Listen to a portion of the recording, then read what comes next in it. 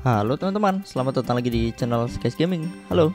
Nah, di video kali ini aku akan membagikan skrip lagi, itu adalah skrip dari game Block Spirit. Nah, jadi buat teman-teman yang mau skripnya, silahkan kalian bisa langsung aja klik linknya di deskripsi ya teman-teman ya. Caranya mudah, cukup diklik aja nanti bakal diarahin ke halaman selanjutnya, lalu tinggal klik copy. Nah, nanti kalau kalian udah klik copy, silahkan kalian bisa paste di aplikasinya, lalu tinggal kalian jalanin.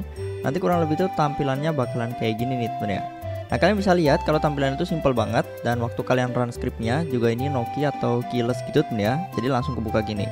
Di sini ada toggle-nya, kalian bisa lihat nih, bisa buat buka tutup secara fleksibel. Kalau kalian pakai di mobile juga ini tampilannya harusnya nggak terlalu besar karena di PC juga tampilannya cukup kecil gitu ya. Dia itu sistemnya memanjang, jadi kalaupun nanti di mobile nggak bakalan uh, melebihi atas gitu ya, karena dia ke kanan ke kiri gini. Nah ini pertama-tama di bagian general ya, kalian bisa lihat nih, ada beberapa settingan dulu. Jadi mungkin kita langsung setting-setting, temen ya. Di sini pilih mode farmnya pilih level farm kayak gini. Kalau mau leveling ini ada beberapa lainnya juga nih. Tuh kalau misalnya mau farm sekitar atau no quest tapi biasanya yang dipakai tuh kalau ini cuma level farm aja tuh ya. Atau di sini pilih metodenya. Kalian mau dari atas samping atau mau dari bawah. Kalau aku biasanya kalau leveling dari atas gitu tuh ya tetap ya Nah kalau udah di sini kalian bisa lihat ya ada start farmnya di atas cuma kita coba turun dulu ke bawah Nah di sini ada fast tag terus ada super fast tag dan lain sebagainya Nah jangan lupa pilih weapon dulu tuh ya Weaponnya dipilih kalau udah bisa naik lagi ke bagian atas sendiri tuh ya Nih di sini ada start auto farmnya tuh ya jadi langsung aja kita run gini tuh ya. Tuh kalian bisa lihat ya. Ini di offin gitu bisa toggle-nya.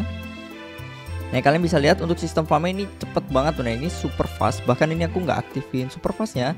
Kalian bisa lihat sendiri ini untuk script yang ini khususnya kalau kalian run di PC bakal super OP tuh ya nah kalau misalnya kalian pakai di mobile itu mungkin sedikit ada delay jadi dia kayak dua detik kan gitu tuh ya mungkin 1 sampai 2 detik. 2 detik 3 detik lah ya temen kalau di mobile kalau di PC itu 1 sampai 2 detik. Ini benar-benar super fast temen ya nih kalian bisa lihat sendiri ya di bagian sini ini aku cuma pakai fast tag yang biasa yang super fast tagnya nggak aku setting sama sekali jadi benar-benar off. Nah mungkin siapa tahu dari kalian tuh ada yang mau coba atau butuh script yang benar-benar super fast kayak gini. Nah bisa pakai script ini temen ya nih. Sekali lagi aku run temen ya kalian bisa lihat nih. Benar-benar super fast tuh ya. Kalian bisa lihat 1 sampai 2 detik aja udah langsung selesai temen ya. Ini sih terlalu OP banget tuh ya. Kalau misalnya kalian mau pakai ini silahkan bisa pakai di alt dulu tuh ya buat coba-coba gitu. Siapa tahu kalian mau tes. Nah cuma kalau misalnya kalian pakai di main sih nggak terlalu dianjurkan untuk sekarang tuh ya. Tapi kalau kalian yang mau coba-coba aja sih silahkan aja tuh ya ya aku juga pakai juga nggak ada masalah tuh ya kalau misalnya cuma sebentar-sebentar aja cuma kalau buat leveling dari level 0 sampai level maksimal gitu mungkin kurang rekomend tuh ya tapi kalian bisa lihat ya untuk uh, fitur attacknya ini benar-benar keren banget bener no delay sama sekali ya nih. Tuh kalian bisa lihat ya no delay gitu yang spam banget bener ya. Tuh cepet banget ya.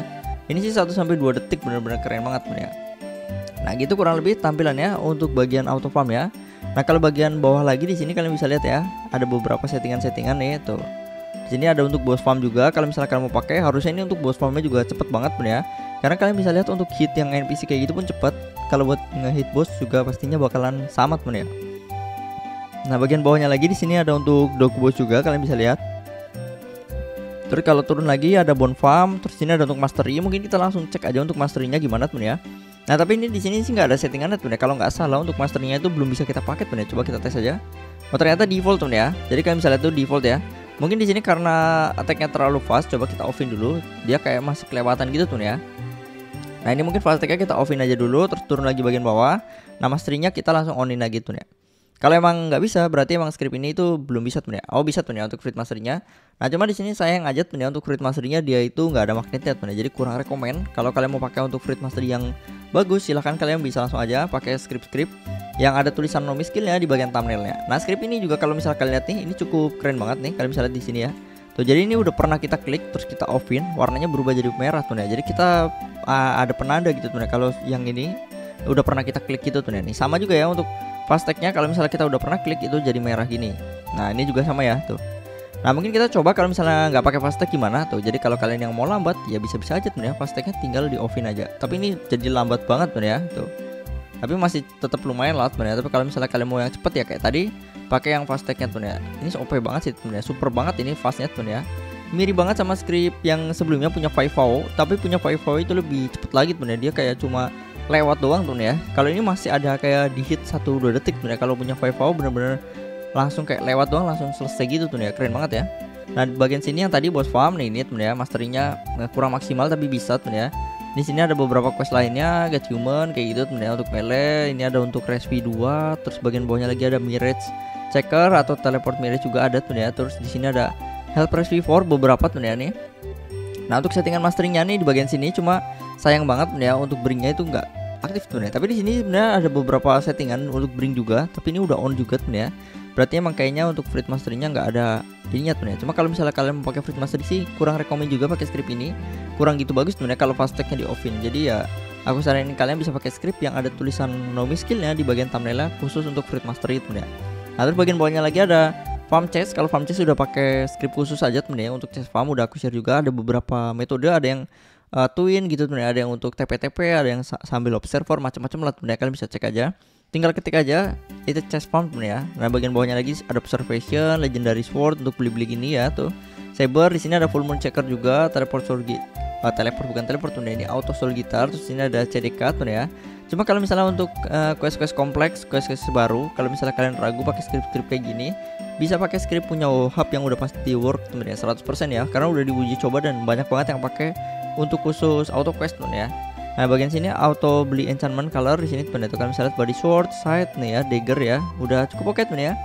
Nih, dagger ini Indra teman ya. Jadi kalau misalnya kalian ada yang cari untuk Indra, dagger itu sama teman ya. Nah di bagian sininya untuk ningkatin stat nih ya simple aja kayak biasa pada umumnya untuk combatnya atau buat PVP kayak gini cuma kalau untuk combat sih aku saranin pakai script khusus udah aku share juga ada yang auto aim ada yang auto bounty tinggal langsung cek aja tuh ya kalian dari sini biasanya sih kurang maksimal gitu tuh ya nih kayak ini ya untuk teleportnya tampilannya kayak gini teleport island ya teleport sea ya pada umumnya gitu tuh ya. Untuk dungeonnya atau raidnya kalian bisa cek.